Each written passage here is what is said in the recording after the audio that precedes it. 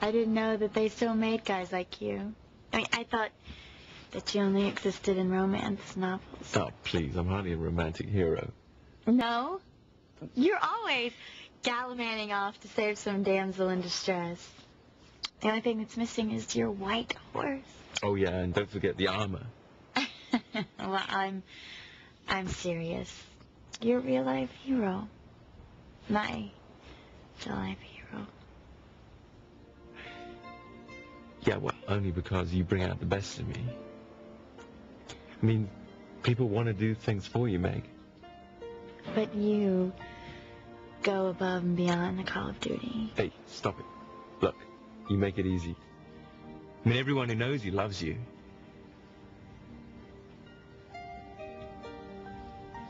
You too.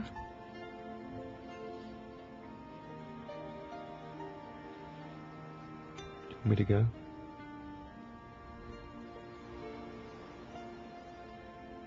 You want me to stay?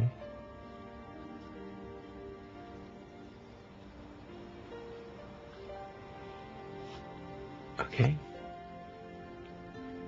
I'll stay. For as long as you like.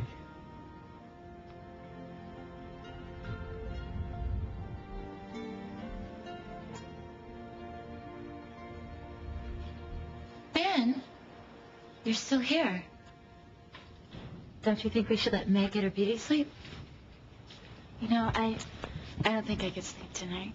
Well, that's why I brought you this mug of nice warm milk.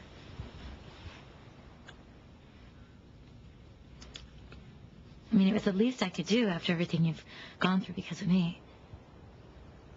Thanks, Annie, but... It was no big deal. No, it is a big deal, Meg.